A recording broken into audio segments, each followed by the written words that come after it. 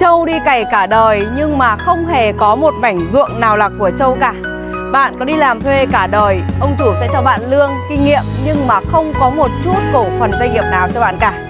Nếu như mà bạn có ước mơ, có mục tiêu Thì hãy mạnh mẽ làm nó. Còn nếu không thì người khác sẽ thuê bạn để thực hiện chính giấc mơ của bạn.